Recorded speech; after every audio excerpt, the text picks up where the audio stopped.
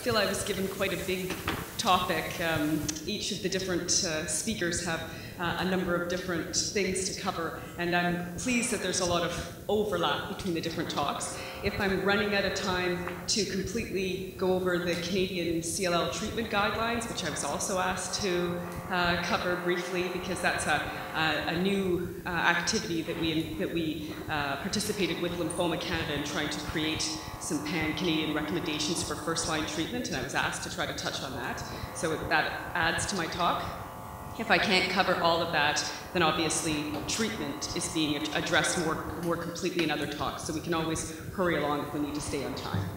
So, so I'm trying to, to focus in a bit of a Canadian way, and I do recognize that um, from a Canadian perspective, most of the population is in Ontario and Quebec, and so this um, meeting is probably predominantly more from Eastern Canada, and my Western Canadian bias is still, I, I think, uh, overcompassable because uh, I am able also to recognize uh, what options are available in different provinces, and I'm actually from Ontario. Interestingly, Graham and I are both from Sault Ste. Marie, and we went to the same high school, so that is. Um, so uh, I have some disclosures in that I have participated in a number of clinical trials, and hopefully that doesn't bias my approach to different drugs and to different uh, tests, and yet I still want to recognize that, uh, uh that participation with industry. So we're going to review some, um, just briefly, the diagnosis in terms of a Canadian perspective, and then um, uh, my perspective on prognostic testing.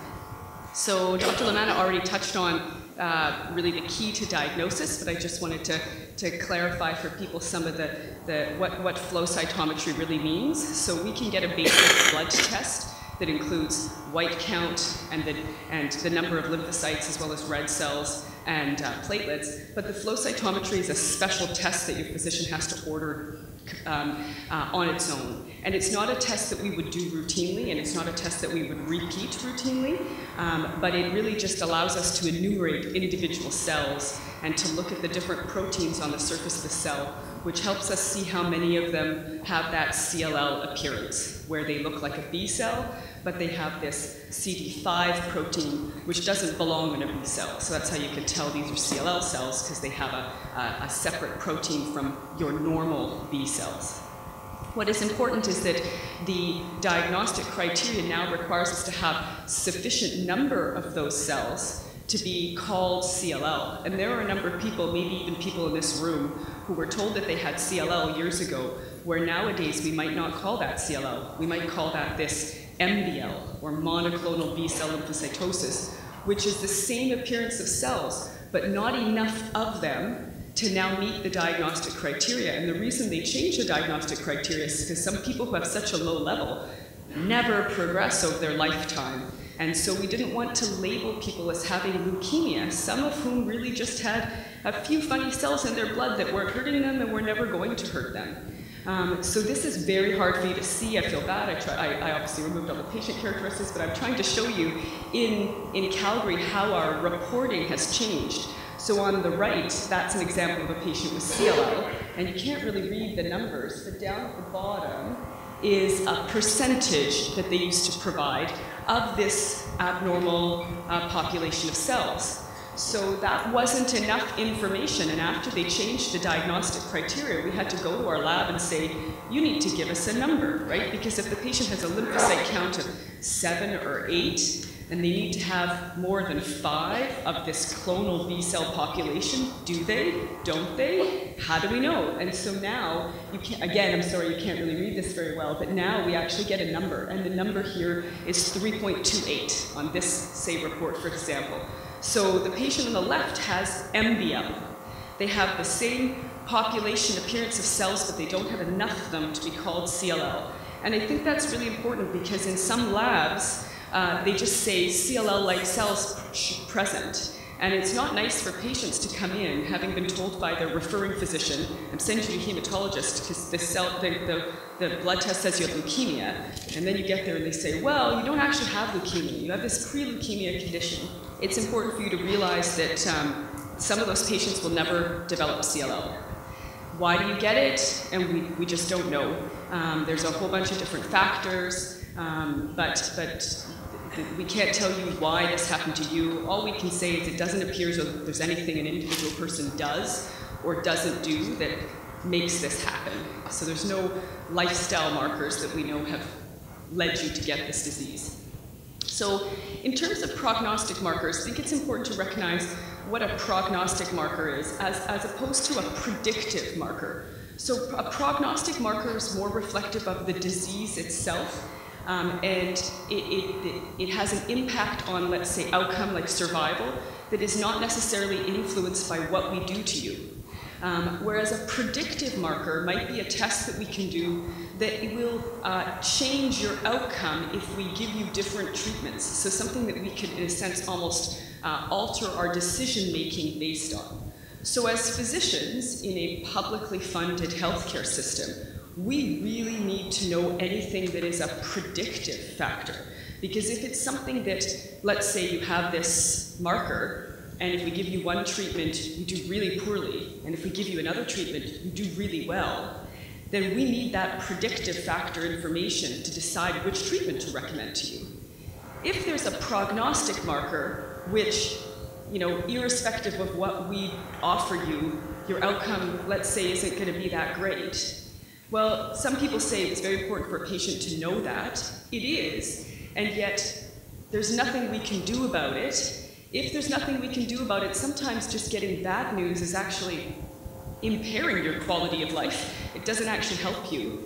And when we're advocating for tests and looking for the government to help us pay for tests, that test is less important to us. As physicians, if, it's not, if there's nothing we can do about it and we're not going to change our management based on it, and it costs money, then I'm not going to ask them to pay for that test. I'm going to ask them to pay for the other test, the one that helped me decide which treatment to give you, that had a difference for outcome, right? So it is important to remember when we talk about prognostic markers that some tests may one day become clearly important in terms of prognosis, and we may never get access to those tests, or at least not routinely. And if it doesn't change, if it's not predictive, then maybe that's not such a big loss. I'd rather the money we have in our healthcare system goes to getting the drugs to the right people rather than necessarily giving us every bit of information for individual patients, which has its own value. But there's always a decision. There, there, there is only so much money in the pot, and we have to choose where we're allocating it. So here's just a, a broad list of prognostic factors that are pretty much the big ones that most of you will have heard of, or if you haven't, you, you know, I think that, that it's important to know, and we'll talk about them. The first one is stage. So uh, stage is actually one of the biggest predictors for um, survival, and it's decided when you're first diagnosed. Um, uh, this beta-2 microglobulin is a simple blood test. It's not that expensive, um, but it's mostly predictive uh, before you start treatment, um, somewhat prognostic at diagnosis. Uh, following it over time, we don't really know how useful that is, so most of the time it's not repeated. Flow cytometry has some special kinds of extra information they can get about proteins on the surface of the cell.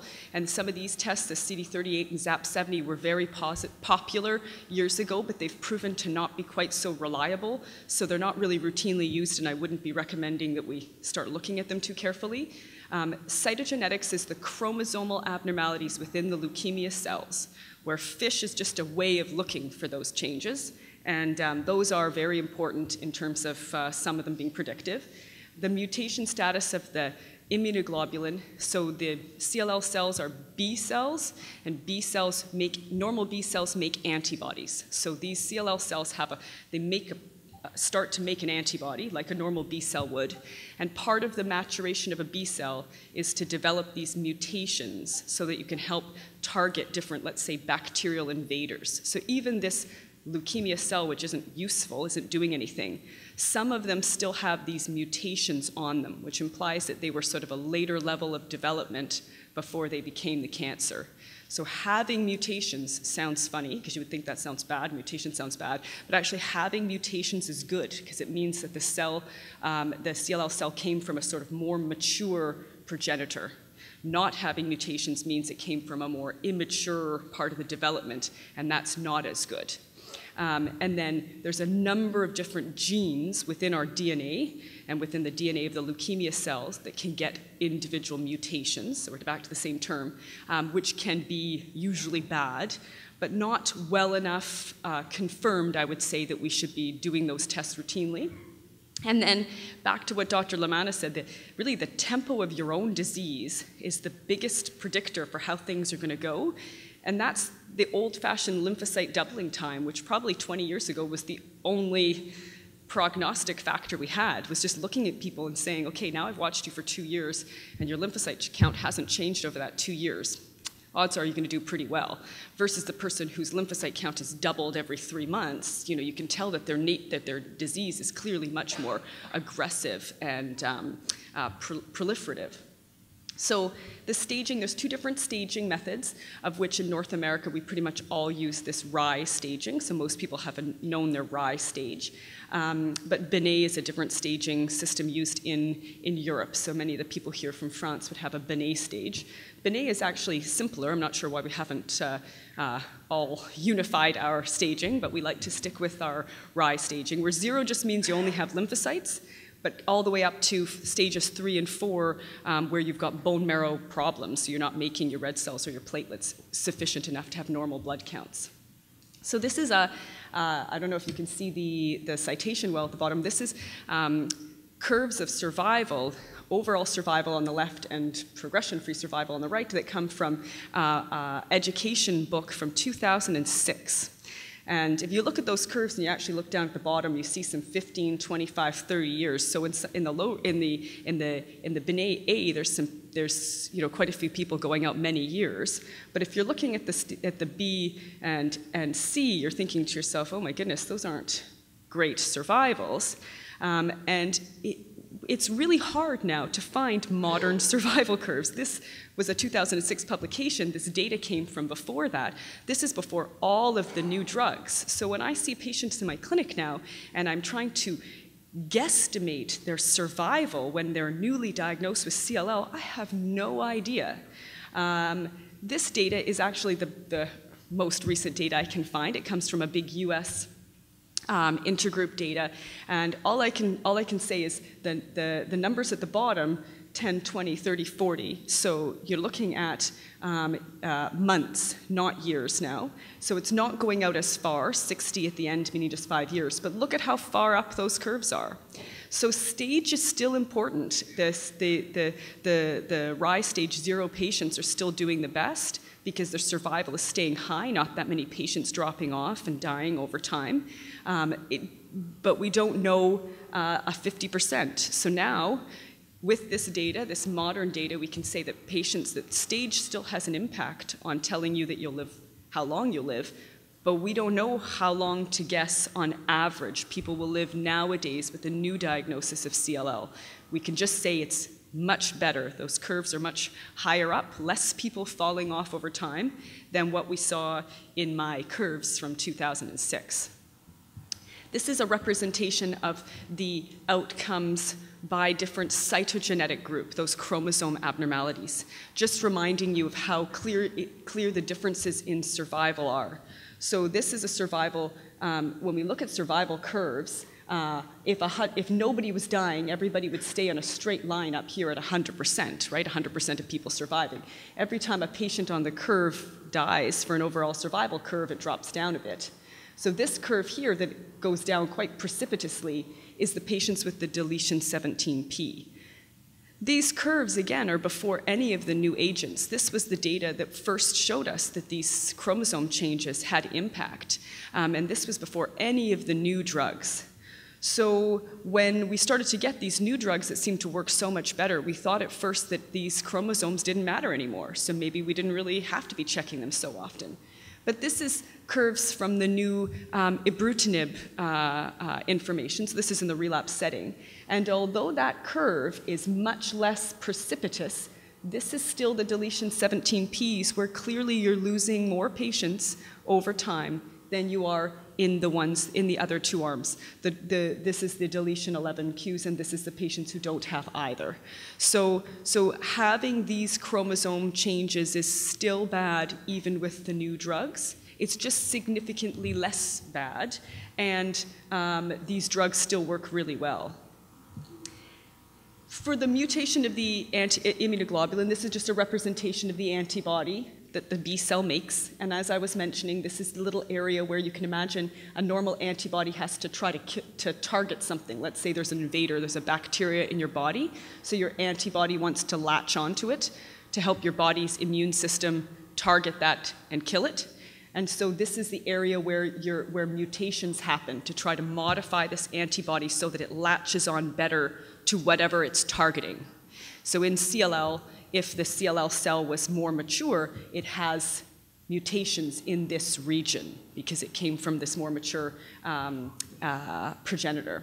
So this was the first data. This is, this is a publication from 1999. So how far back are we going?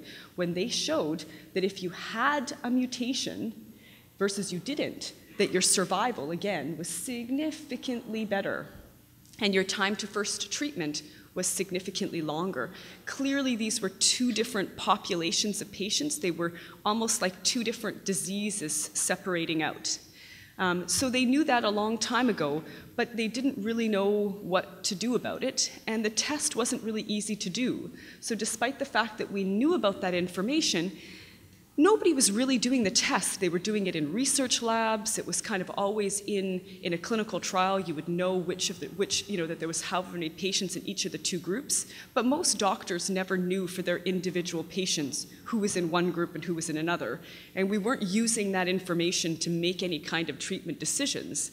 So as I was saying before, if it just told you that one group was doing worse and one group was doing better, but it didn't have any impact on what we were doing, then it was kind of academic interest that didn't really matter in a sense. Now, the new data that has come out is uh, in reference to FCR, so fludarabine, cyclophosphamide, and rituximab, which treatment, individual treatments haven't been discussed so much yet, but obviously we're going to talk more about treatment. But that is the standard treatment for first-time therapy for young, fit patients. And the first data for this FCR came from the MD Anderson, where MD Anderson is a referral center, you know, uh, one of the, um, a private cancer clinic where people can go if they have enough money, as well as people who live nearby. So there's obviously a bit of selection in the patients who tend to go and be treated there. Um, and so these are, but these were the first 300 patients they ever treated with this regimen, highly motivated people. This is the curve here for progression-free survival, meaning if, remember what I said, if 100% of people are staying well, the curve's gonna be up here. Well, 100% of people aren't staying well, but there's this little plat there's this obvious plateau in the curve. So after you lose a few people to relapses, there appears to be a group of patients where maybe they're not actually ever going to relapse because the curve is now flattened out and time is going past. The, the, this is 15 years down here. So there's 50% of people, more than that actually, um, in this curve, about 60% of people in that arm who are mutated immunoglobulin, who got FCR, who haven't had a relapse yet, and you're out towards 15 years. So we never talked about cure in CLL before, but that's pretty good proximity. If your disease isn't going to come, if 20 years has gone by and you haven't had your disease come back yet, we can't tell you for sure you're cured, but we're starting to feel pretty confident that this has certainly made a big difference to, the to, to your life, and possibly you're never seeing your disease again. We'll never be able to say cure until, we, until sufficient people have lived out a normal life expectancy and died of their normal life expectancy before we could actually say, okay, this is a, you know, a cure. This is just the data from the uh, big German CLL study that looked at this FCR uh, and showing the same thing, uh, but just with a little bit less long follow-up. But the that, that the patients with this mutated immunoglobulin are truly doing um, very well and looking like they may have a cure. So what about gene mutations? There's a whole bunch of them, and all I can say is that um, there's still debate from the literature. One study will say this mutation is predicts for bad outcome. Another study will say, in our group, we couldn't see that statistically. whenever there's question, and tests aren't easy to do and they're not cheap, I don't think we should be doing them until we know for sure. But also, uh, it doesn't look as though any of these mutations have yet been predicted to say that if you know you have it, you should get one treatment or you should get another. So I don't think yet that uh, we would be advocating in Canada to be doing most of these mutations as a part of our prognostic testing. This is the CLL International Prognostic Index, and this is the largest uh, validated uh, prognostic study that we have. So uh, they took a very large group of patients and they looked at their different factors that had been reported as being prognostic. Um, and then they looked to see which proved to still be to be prognostic in their group. And then they looked at a whole bunch of other patient populations, one group from the Mayo Clinic, one group that was their own sort of internal validation, one group from Scandinavia. So patients may be treated a little bit differently, maybe slightly genetically different, you know, different sort of racial groups, that kind of thing. Um, and they came out with all the same information where this uh, TP53 abnormalities was, was the strongest predictor and then you have mutation status, beta 2 microglobulin, stage, and age. So the reason it says TP53 status instead of saying deletion 17p, which is how we assess for, for TP53 in Canada, is because there's two different ways that you can have a problem with the TP53 gene. You can either lose a part of it, which is what deletion of 17p means. That gene is on the short arm of chromosome 17. If you lose a, break a piece off of that chromosome and the gene is within it, now it's gone. Now you're missing a copy of that gene. You could also just take the gene and end up with a DNA mutation within the gene. So finding mutations within the gene is a lot harder because it's quite a big gene. So you have to look at the DNA for a large section of DNA to look and see if there's a change in the DNA. So mutation and assessment has proven in studies to be just as important as deletion 17p. If you, don't, if you have the chromosome, but there's a mutation in the gene, that's just as bad as missing the piece of the chromosome. But it's harder to test for and it costs more. So in Canada, we don't do it. But modern testing is getting better and we know that we should be doing it. So whether you have a mutation or you have a loss of the gene, it means the same thing. Um, and some people only have one, and some people have the other, and some people have both. So really, we should be doing both tests. And that's what this, this really strong predictor saying that it's a uh, hazard ratio of four, having the mutation or having the loss means you're four times more likely to do poorly. It's a very, it's very strong predictor, and it's very important that we have that test, but it's not something that's easy to get right now. This is just curves. I think it's uh, um, showing you that from that CLL IPI, if you looked at all of these different factors and you separate the patients out, it's very easy to see clear survival separations. Having 17p problem or TP53 mutation, being older, unfortunately you don't live as long when you're older to start with, uh, having high stage, you know, these things, if you have lots of these factors, you're not going to live as long as if you have very few of them. I don't want to try to encourage us by other people's problems, but I think that, what, that uh, a big qualm we have as Canadians is that we are somehow um, not having access to as good of options, let's say, as we would if we were in the US. And certainly in a lot of US centers, um, these prognostic factors are done more routinely, more frequently, more easily than in many Canadian centers. Um, this is real world data from 199 US centers data collected between 2010 and 2014, recent data, only looking at patients who were on therapy, okay? In Canada, I, I don't recommend that people have prognostic testing done at diagnosis. I recommend you have it done when you need treatment. Because we know that as many as half of patients with CLL may never need treatment. They could be in the good group. So knowing this information doesn't change our management because you might have never needed management, you might have never needed treatment for your CLL at all. But these tests cost money. So we want to use them when they help us. So you want to use them when you need treatment. If you have testing for deletion 17p at diagnosis and you don't need treatment for 10 years, by the time you need treatment, we need to do that test again because you might not have had the deletion 17p 10 years ago, but you may now have it now. So having done the test 10 years ago didn't help us. Um, although the mutation, immunoglobulin mutation study testing doesn't change, so you could only need to do it once in your lifetime, you still don't need it if you're never going to need treatment. So again, we recommend that you do it when you're getting close to needing treatment. But this is data from the US for patients on treatment, and only 58% of patients had some kind of genetic uh, FISH testing. We're recommending that everybody has assessment for that deletion 17p, and I think in our centers in Canada, we're doing quite well. Most patients are having this test done, 58%.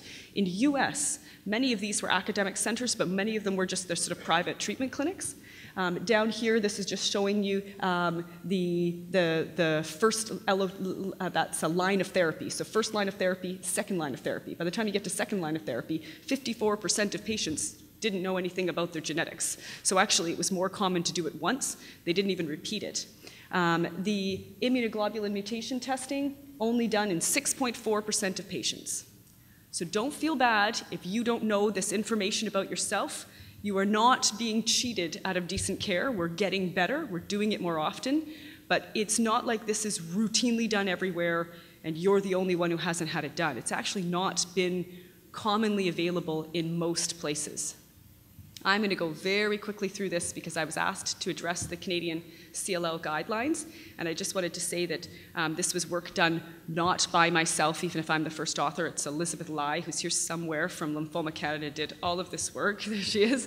Uh, it's a very well written um, pa paper looking at all of the, the good quality evidence um, studies for CLL. We just answer, we tried to answer a bunch of questions related to frontline treatment. So what prognostic testing should we be doing? Should everybody be doing? Um, how should we assess patient fitness? Uh, how should early stage CLL without symptoms be treated? How should advanced stage patients be treated? And then which patients need more than just one treatment? They need some sort of maintenance. Um, so I've already covered prognostic um, testing. We don't think prognostic testing should be routinely done unless you need treatment.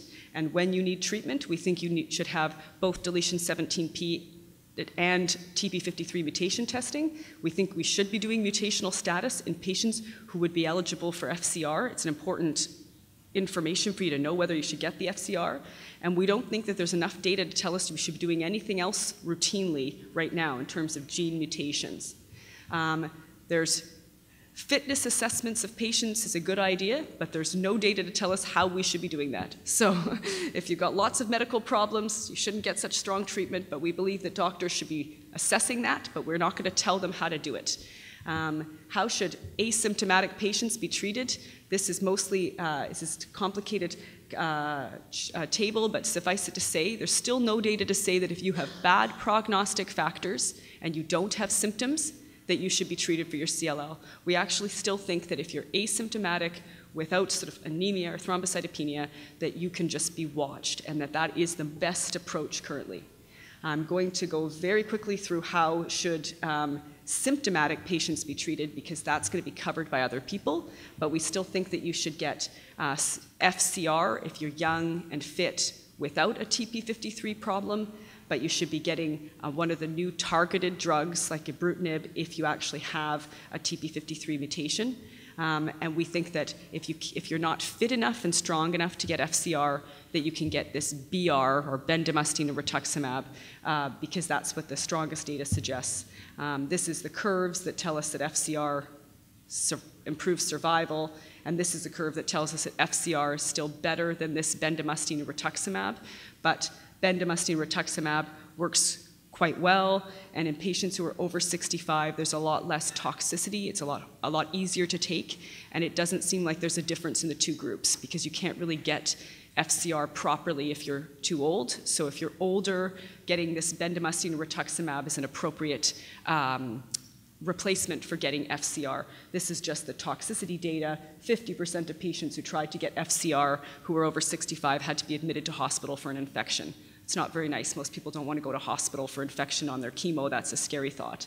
Um, I won't talk too much about this, but in Ontario, a lot of people have had FR or fludarabine or rituximab only, or in BC, and that was a very popular regimen. But just suffice it to say, they did do a study, and it proved not to be um, as good as FCR.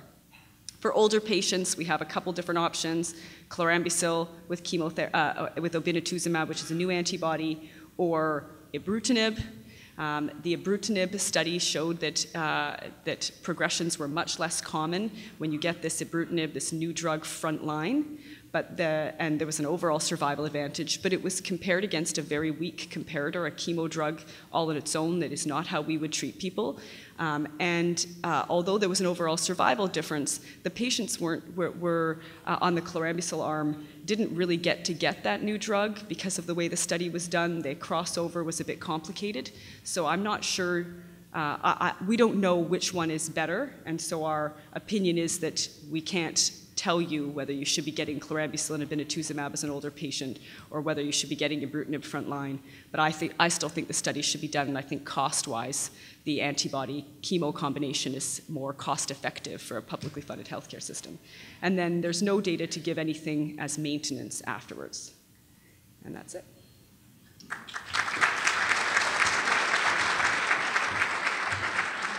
Hi, I have a question about Richter's.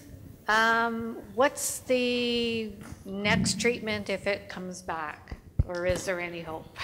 So Richter's is really a different disease, right? So patients who have an underlying lymphoma or leukemia that's slower growing have this chance of developing a more aggressive lymphoma, which is what Richter's is. Um, and so the treatments are not the same as CLL. And if you get the, unfortunately, um, most patients with Richter's have quite a, a, resistant disease. It's hard to, it's hard to cure. Um, but there's a population of patients who actually do quite well, like other patients with aggressive lymphoma in the first place. So if you have Richter's and you get chemo and you get a really good response and it's and the disease is gone, we usually recommend a stem cell transplant for people who are young enough to have it. If you can't, then we just sort of cross our fingers and hope. Um, but usually, if the disease was going to come back, unfortunately, it comes back very quickly. Um, and our treatments are not great at that time. So if it doesn't come back, and it's, it's actually, there's a group of patients who really surprise us. We all have in our practice people who are beyond five years after having treatment for Richter's without a transplant, and those patients are likely cured of that aggressive lymphoma. Uh, hello, Dr. Owen. Uh, I, my question has to do with treatment anxiety under two contexts. Uh, the first context is first line treatment. And um, after listening to you, uh, I know that there is a divergence of opinion among experts. Leaving aside drug accessibility and cost, uh, I happen to be one patient who is out on an early trial of ibrutinib, and I'm six years and almost 10 months, and I would be dead if it weren't for that drug. Now, that's a data point of one. Patients have to make decisions based on large statistical data. But I have not seen anything, and maybe there exists something, to go to an individual patient that is young uh, and fit and say, you are eligible for the best treatment that we know of, uh, FCR, for all the reasons that you have given. However, we are looking at a patient population broadly that is expected to achieve much longer overall survival, um, and that increases the risks from the toxicity of FCR treatment in the long run. And the young and fit patients are patients who are actually, uh, those patients with indolent disease are the ones that are statistically uh, doing very well on drugs like kinase inhibitors. So I was just wondering if, uh, if you could comment on how you square that rationale. Most people didn't have mutation testing of the immunoglobulin in Canada. It's very newly available. So um, we really, we offered patients FCR who are young and fit without knowing if they were in that group that we thought might potentially be cured. And it's obvious who isn't because the patients who are not in that cured group do have their disease recur within a few years. Not immediately, but usually three, four, five years later. And so you don't wait that long to see the patients who are going to need additional therapies. Nowadays, we know that those patients are probably in that, in that unmutated group. The, the, the, the truth is we don't have any good studies of using ibrutinib or other new targeted treatments frontline in young fit patients. And it's purely because the, the studies are still going. Um, in part, it's because FCR works well for patients. And if you want to prove that another drug works better, it's obviously going to take longer to show that if your comparator arm is doing really well, right? Um, proving that ibrutinib could work just as well is not enough for us because as us, as a, as a, as a country, you're talking about funding a new therapy. So if ibrutinib that continues until progression could work just as well as FCR, but 60% of patients in the good risk group of FCR are cured and get six months of treatment with sort of cheaper older drugs and then get nothing, the cost effectiveness discussion is, well, there's no discussion. The, the, the cost differences would be so phenomenal that the, the, the provinces just wouldn't be willing to pay for it. So we need to prove that the new, more expensive drugs are, are better before we change. Um, and then that takes more time, right? So today, I, I think that getting FCR for a young, fit patient, particularly those with the mutated immunoglobulin, really is a, it's an excellent treatment. It, it has an end. It's a, it's a, it's a six-month therapy, and then some of those patients are never going to need next treatment, or not for, for over a decade. Um, there are risks of long-term toxicities, but there's risks of long-term risks of second cancers just from having CLL that's not even treated. Um, so you can't, you know, I think that you, you have to be cognizant of, of the, the, the longer term risks, but you have to also think about what patients are gaining to be able to have their life back without taking a drug every day, um, without having to worry about that. Um, I have a question about how often cytogenetic testing should be done. Many of us are patients who have been treated and relapsed perhaps several times over 15 or 20 or even 25 years. Um, how often should the, this testing be done? And in fact, in Canada, how often is it done? So our recommendation is that the testing be done every time you start a new therapy. However, if we knew you have deletion 17p, and we're kind of looking for deletion 17p, I would say there's really no point repeating the test. If you've got it, you, you can't get it again. I mean, you've already got it, right? Um, if, if you're at a, a line of therapy where there's no choices, again, the test does cost money. So if you are, you know, not able to, to take ibrutinib, let's say, because you've stopped it because you have bad side effects, or now it's not working for you anymore, and we really only have venetoclax as the next drug out there, I don't see how doing the cytogenetics is going to, you know, you, you've got a drug, and so it doesn't matter what your cytogenetics show, that's the only drug we have to offer you. Um, and sometimes more information isn't good. If you, if you didn't have deletion 17p before, but now things, you know, things are not looking good and you only have one more treatment option, does getting that news that you fall in that category actually help you? It probably doesn't. Um, so I don't recommend doing it every single line of therapy. I recommend doing it first line of therapy and then um, planning to do it at every subsequent line, but thinking about it and not doing it if it's not needed. And I think that in a lot of centers, people sort of forget after the first line because most patients are being offered ibrutinib as their next treatment.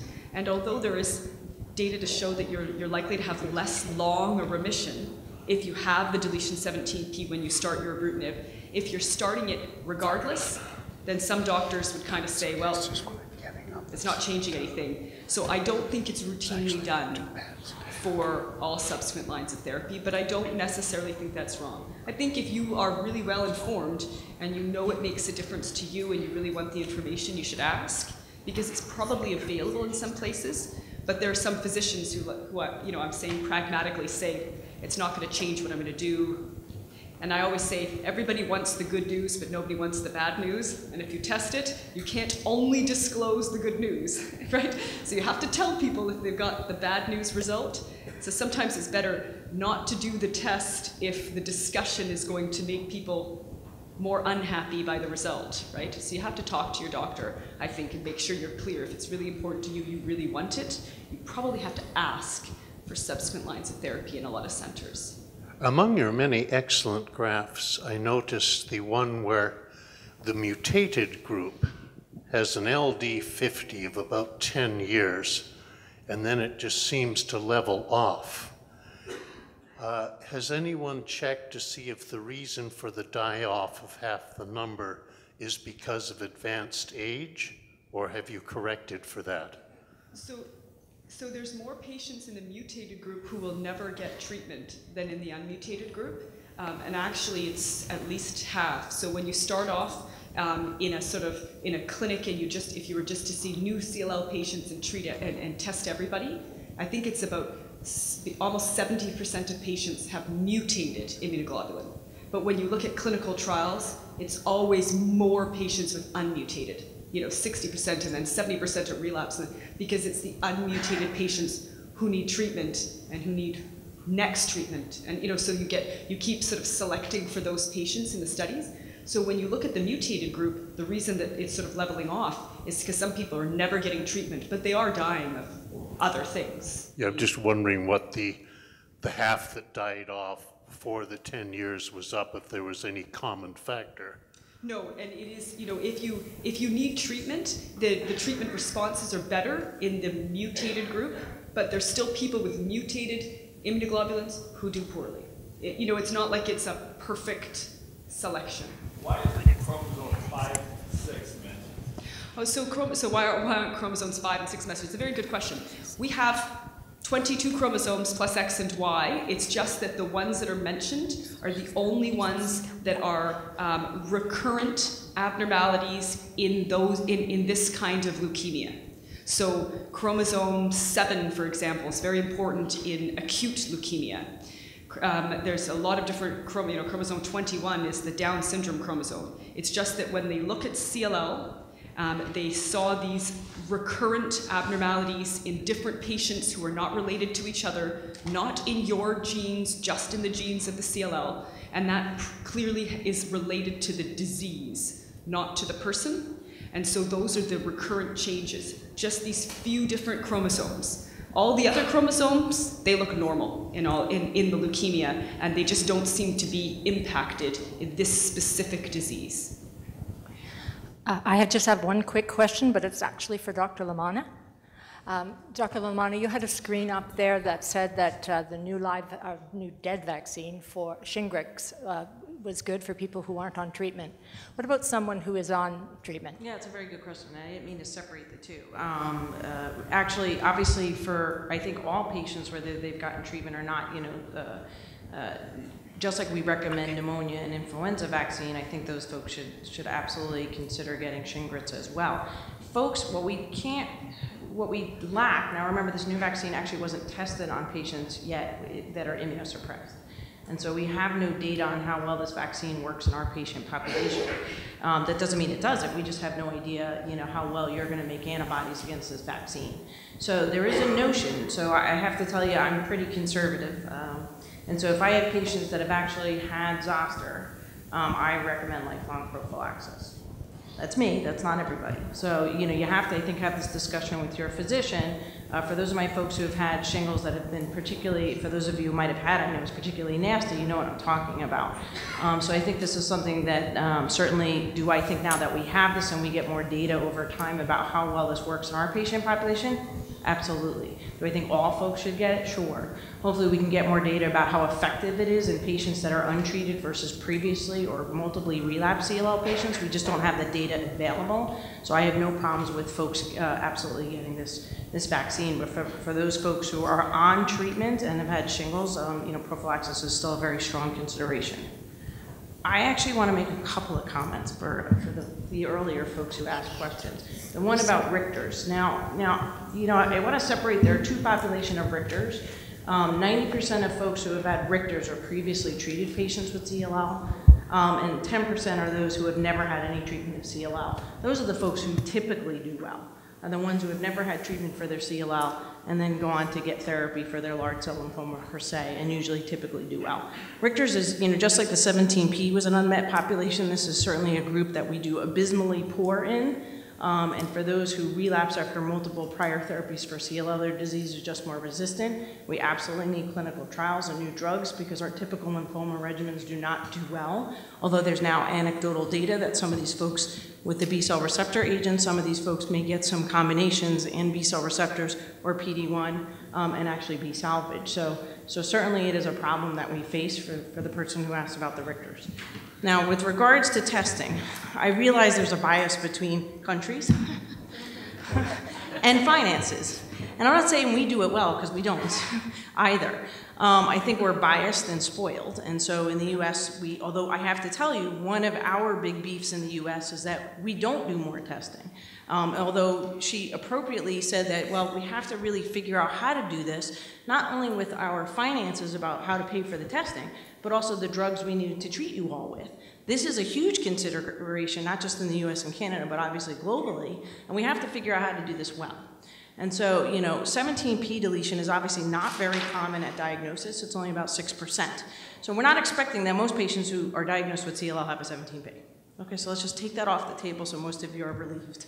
It actually increases in frequency the more people have gotten treatment over time, the more beaten up we've, we've created with certain treatments, and there's no doubt that the frequency increases to about 30 to 40% of the patient population. And for sure, yes, do I agree, and I think I subtly said that before, is that certainly if you don't get it as baseline testing, you absolutely should get these tests done prior to initiating therapy, because there's no, there's no doubt in my mind that you know you have to get a novel agent, and I'm not talking just ibrutinib, but the novel agents are what you should be receiving if you have a 17p deletion. Um, there are the uh, upfront studies that are looking whether or not FCR versus ibrutinib versus other therapies are better if you start those therapies, whether you're young and fit or older and older and less fit, um, are closed. These are intergroup and cooperative group studies. They are closed, but we need the long-term data.